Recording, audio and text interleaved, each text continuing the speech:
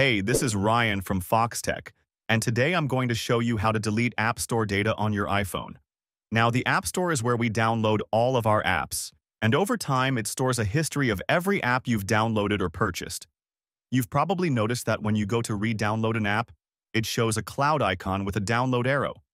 That's the App Store remembering your download history. Let's talk about how you can clear that data and make sure it doesn't show up anymore. To get started, open up the App Store on your iPhone.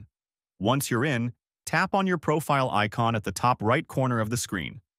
From there, you'll want to tap on your name to access your account settings.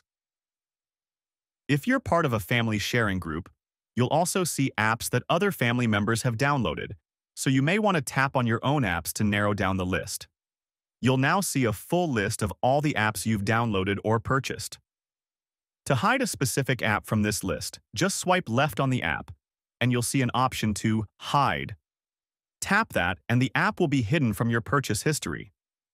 When you hide an app this way, the cloud icon will no longer appear, and the information related to that app will be hidden from your App Store history.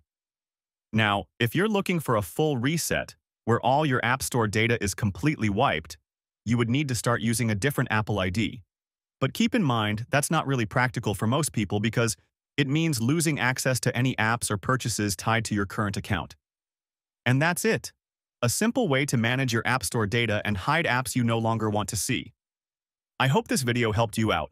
If it did, make sure to give it a like and don't forget to subscribe for more helpful tips like this. Thanks for watching and see you later.